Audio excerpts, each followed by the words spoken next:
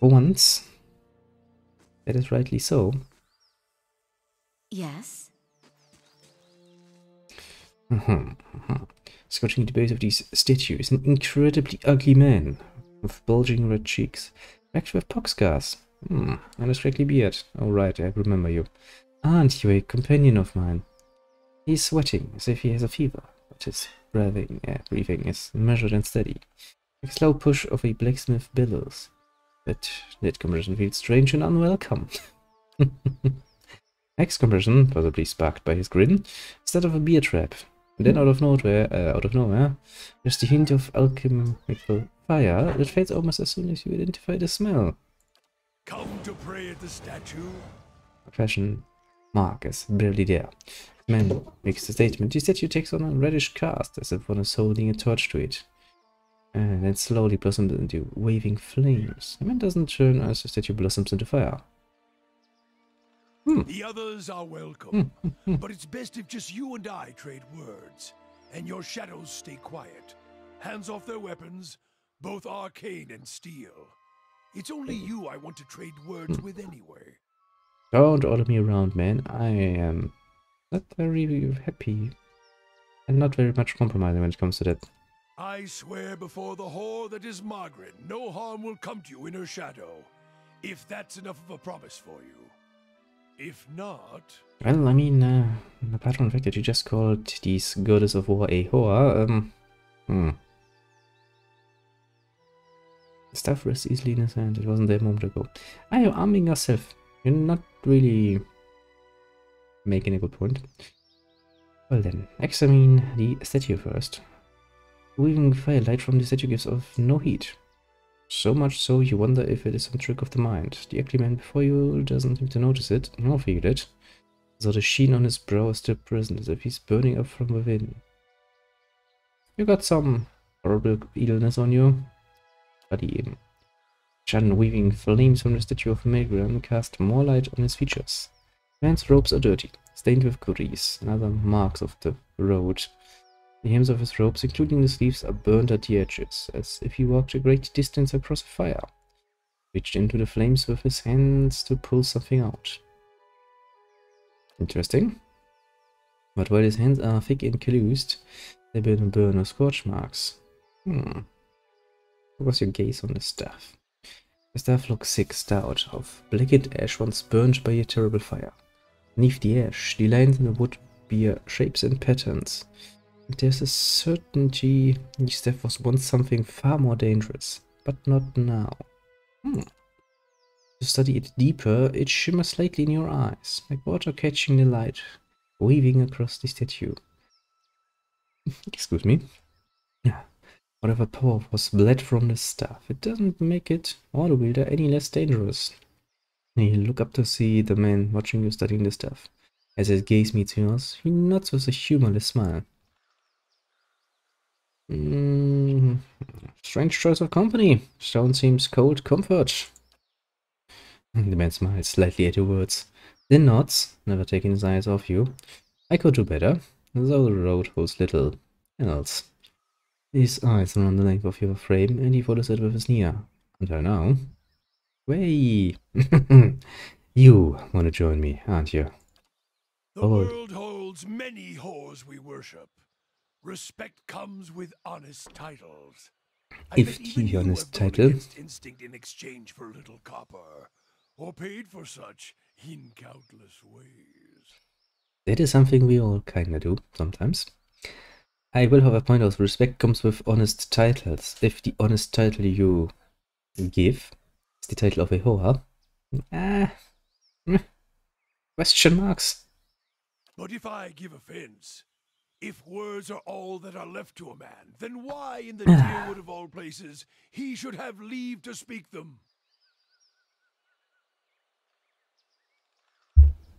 Ah. Hmm. Well then, I didn't catch your name. Oh, why you want to speak with me? I didn't give it. Come on, Grins. Probably find names as useless as I do. The names that litter this world like debris are hard enough to wrap around the tongue. And what do they matter? Well, you actually make a somewhat good point because I am rather horrible with names in general, so mm, yeah. Personally, I never thought names to be that much of an importance. It's Good what's man. beneath the skin and the letters I Mhm, care mhm. about. What burns within. It's Yeah. more important to me. That's one way to justify your bad memory when it comes to names. Letters Mhm. like awkward crowns. Mhm, Take mhm, mhm. pride in your actions, not where you hail from, or how your name rolls off whatever liar's tongue coats it now. You make this a lot more complicated. The whole, you know, liking you part. If you need a title to hang on me to match your own watcher, then call me Durance. And as you observe souls, Durance, I a man that costs me a lot of my endurance just listening to her. Hmm. So how even do you know I was a watcher? Durance shakes his hand and his hand curls tightly on his staff. I can see the questions bubbling up. Let's burn them away, one by one. Oh, a bit of a focus on fire, my friend. I am a missionary. Mm-hmm. I walk this diseased nation with its heathen, its people so careless with the spirits of others and their own, watchers among them. Mm-hmm. Yes, I know you for what you are, and your name doesn't interest me. Names are for honest folk, and you are a crack that shines light from another place. Which kinda means that you just, uh, well, called me a very much not honest folk. Uh, hmm. You know, something my problem with the whole concept of lying and liars. I would consider myself somewhat honest. I mean, nobody's 100% honest, mind you, but We're meant to travel together, you and Hmm. I. You say so, eh? Not your face, but that soul of yours, all tightened up like a huntsman's knot. that sounds horrible. Uh, you saw my soul in the flames. There's things we can teach each other hmm if you're in need of answers to your mantle of questions. Yes, and all I have to do is name, uh, well, is tick uh, this poxmark guy around with me. I don't force my words on anyone other than you. hmm I don't care who walks with you or what their muling problems and politics are. There's enough howling in the world without me stoking that fire. I won't take from your provisions, don't need much on the road. I can carry my weight, which is considerable. Are you implying that you're fat or are you implying that you are very much useful there? I mean, I guess as long as you don't need me to feed you, not take care of you. I'm not really against it. Seems like a pretty good deal actually. Like, hey, here, look, I join you, I don't cost anything, and other stuff. Many will stand against you. Yeah, just They in this one already place already. From what I can see, left their marks. it Mhm. seems. Like a trail, worming its way behind you. Yeah, you're kind of confusing it. What you see behind me is a trail of corpses I leave behind. What you know, what kind of marks do you see? Disease, Just pointing it out. wind, Hmm? could have touched you. Yet here you stand. Oh, you mean that shit? Yeah, yeah. That happened too. Didn't kill me. Disease, I'm a protagonist. not all of us were close to And as we all know from, fox but it's no a years and generations of gaming, bush. It left its Protagonists have a hard time dying. But like flames, the pox doesn't strike twice, nor is it catching. Hmm. I will kind of disagree. I'm pretty sure the pox can strike twice. And that you can, actually. Well, if your stone mistress allows it, then come on, I guess. Her? Don't fear her jealousy. Let us see what the road holds, Watcher. Well, I do fear jealousy of gods because, you know, they have a tendency to murder you out of jealousy. Gods can be so bloody human. Actually, read up about, you know, the uh, Greek mythology and uh, start with Zeus and go from there, and you will see that jealousy kills people.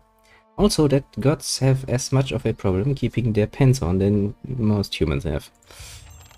Surprisingly enough. I do like the look of the game. They actually did well with their maps. I'll give them that.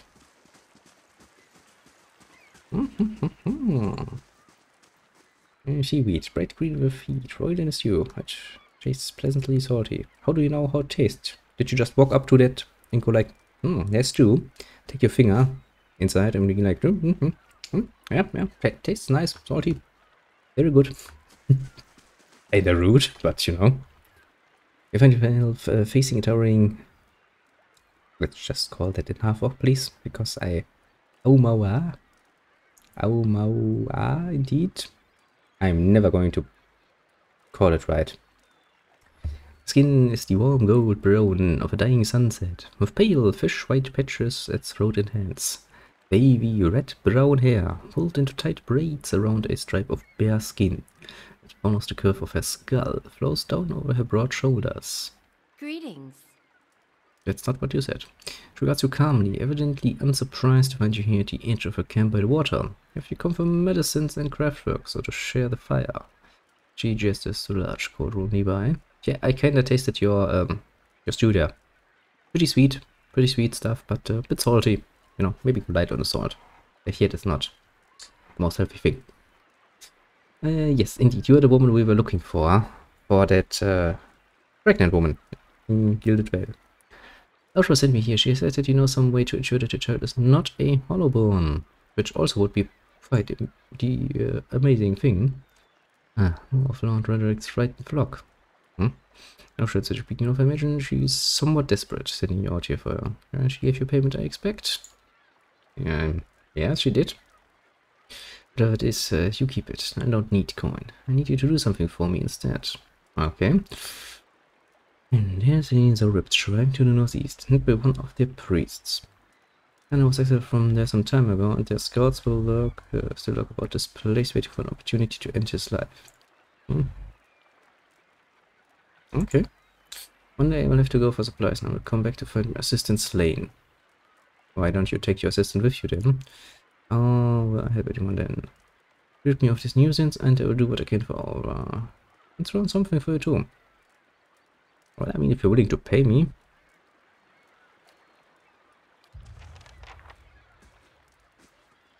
Scree! A questioning scree! You see, a long, long time ago when I started playing RPGs like this, I figured that I very much like to roleplay myself as a bit of a mercenary soul, basically. I like to do things for money. It's all this business, you know? People are like, here, I give you money and I will do things. Now, of course, as we all know, some quests are morally questionable, at the very least. I do like to play with that a bit. But I do like to set myself a general tone that I like to follow, you know? Makes me feel... Also not satisfied. Oops, wrong button.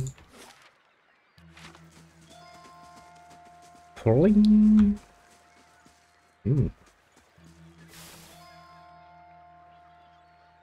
Right from full Fulfanus travels. Uh, I met a helpful drivewood woman while in Gilded Village. She was an invaluable gate during my time in that Surrey village and agreed to accompany me some part of the way towards Anslög's compass.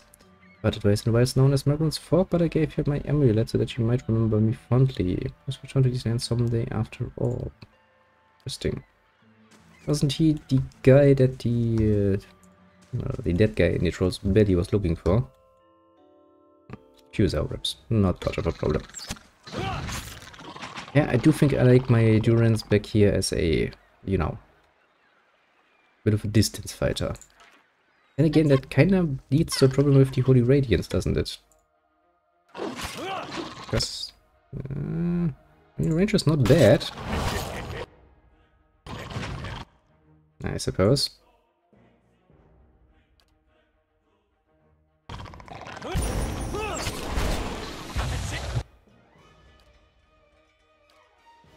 Hmm, yeah, probably better idea to knock that down.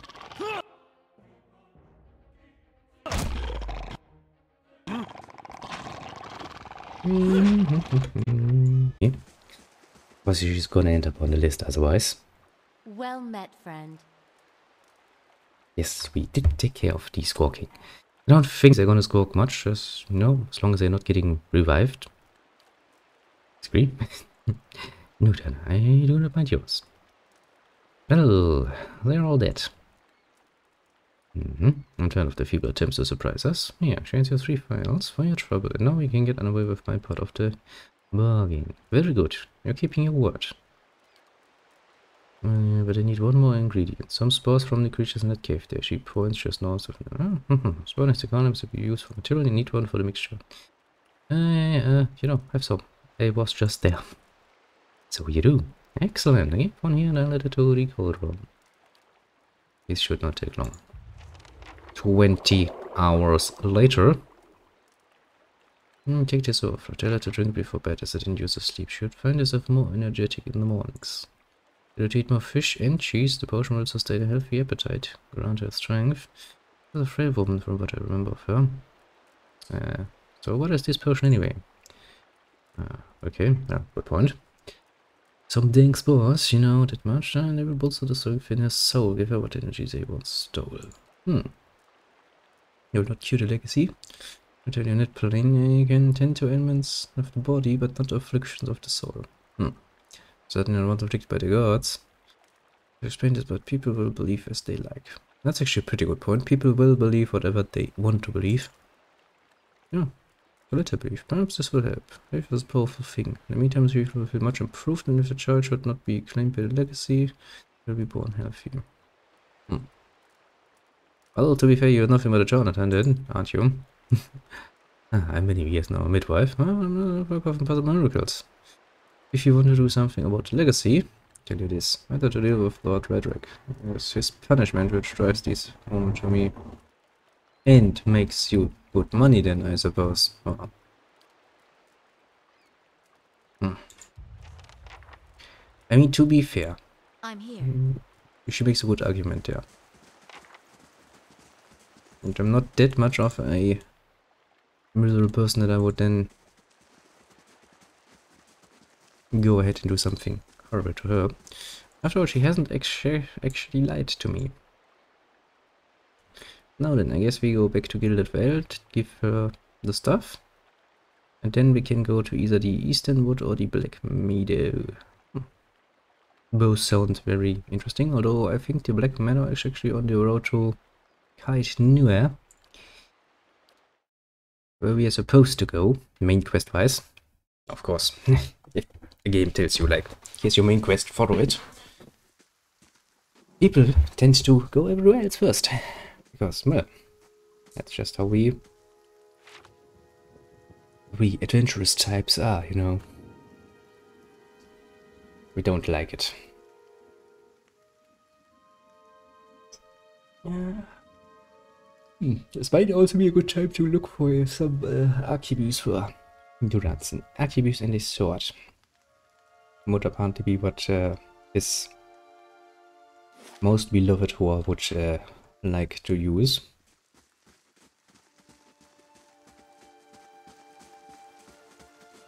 Then they told her, That's not the pistol. Ah! You making some horror jokes there, little villager. And I guess, I mean, if you're in such an desertly place like this... Good day, stranger. Well, some time away. What, he wouldn't return. Is that it? Have you brought it? Uh, yes, I have. Here it is. Okay, I've done without you. No, baby will be safe. Uh,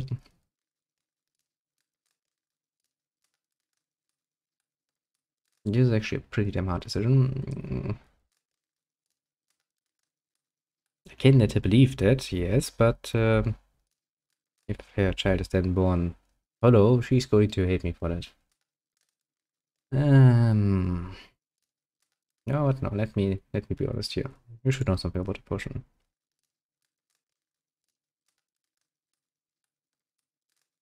Well, uh, might it will make you feel better, but that's basically it.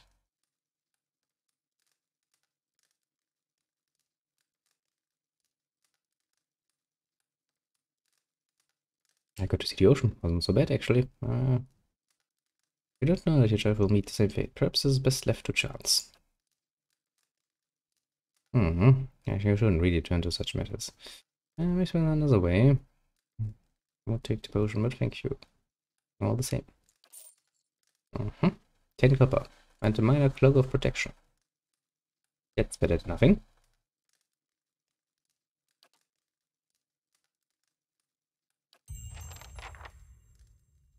Yeah, that's what it always comes down to.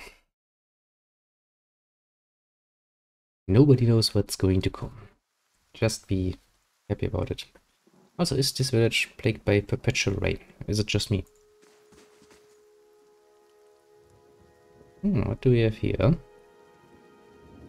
Hold, madam, but a moment. Oldman waits upon the road, clad in a green cloak. To meet you as you approach and closer distance, his features are real for those of a young man. The light of weariness. He appears to be favoring his left leg as he walks, and there's a dark stain upon the fabric of his trousers, under the knee. So he greets you with a polite bow. Has you done dear or great service? The man nods towards the nearby house. Mr. Campus is a dangerous place, and yet you are willing to venture there to help her. I mean, she was pretty damn straight with me. She's like, here, take some money and go there. And I was like, hmm, sure. Pretty reasonable. Gilville needs such courage in these dark times. Stout hearts willing to do what is necessary to save these people. Can I count you among yet number? First things first, who even are you, huh? One man determined to see Gilville restored to its former glory. Was a tame stranger when Gilville was worthy of its name. Uh, what? Uh, the wheat shone like gold on the hills. The village people lived well. I don't know about that golden crops, but there were less flies anyway. he makes a good point. And what has become of it now? Um, well, cast a blight upon an ants, it is not the fault of its people. But it looks to punish us for crimes we have not committed, and in turn he is blind to his own. That's usually how lords are, you know. My fiefdom is not doing well. Well, that's everybody's fault, but not mine. Obviously. Come on. It is denied. Coals created by the flame. Oh, we're of you, aren't we? Like many tyrants, has surrounded with stronger men and women for fear of retribution. So you are watched. You have pressed on despite that, however, I wonder if you might not help one another. Hmm, it depends. I do not help others out of charity. To your sense of justice, perhaps your practical nature will suffice. Mortitana Arthi would improve all our fortunes. Hmm. Too long has Gilded Vale suffered under Raedric's madness. He would cure Waidwen's legacy by ensuring there are none alive in the village to be afflicted. That does solve the problem. It's going to destroy his fiefdom, which means he is not going to get any money out of it anymore. You know, kinda stupid. If he is owned by Figurite may be at risk. The man has no mercy in him. If not such idle, my people and I breach their defenses, intent on ending rid through ourselves. We entered through the sewers under cover of night. We were routed. There are dark creatures down in the dungeons. Work of man, sir. Mm -hmm. Calls to you. My running has called for further reinforcements, and soon there will be no stopping him. Time goes short, and in this hour I must beg assistance where I can. Okay, well, there was a probably plot planned after this. Yes, he does. If we do this, he owes us quite a bit. I'm fleeing from the ramparts, I'll cut his head from his shoulders. I cannot. Once I have thrown like empty, Gilded Vale will have the stewardship that it deserves. Which is, of course, your stewardship. I mean, yeah, you know. The reason I can promise you that you it will not go unrewarded is the best disposal of a long raid. Then didn't you might take your fill? Hmm.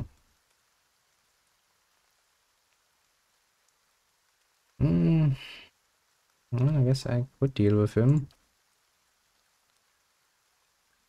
Uh -huh. Yeah, the showed us crawling with soldiers and sellswords. Oh no, to Raedric. Will not take Kenty to intruders. No say will be all the more alert for our failed efforts. Rulers would be unwise. With Brevard you would follow our steps and seek out the entrance to the sewers and the eastern edge of the moat. Mm -hmm. of them captured. Maybe the entrance has been found and sealed anew. Someone run my command. It would be in your depth if you found some means of helping them. Mm -hmm. Once you make it inside, seek out my old friend Netma. Is I a priest? Rathian, No, that the shining god is fallen, a good man in difficult circumstances. Mm -hmm. Listen to reason. Shining god. You shone so bright as when the bomb took him. Monica is obsolete now. Ash does not shine. Like if someone was to call you the attractive priest.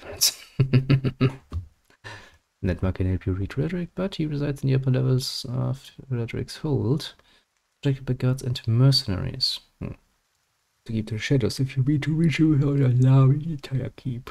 Oh boy. Mm -hmm. Yeah? Keep your advice in mind.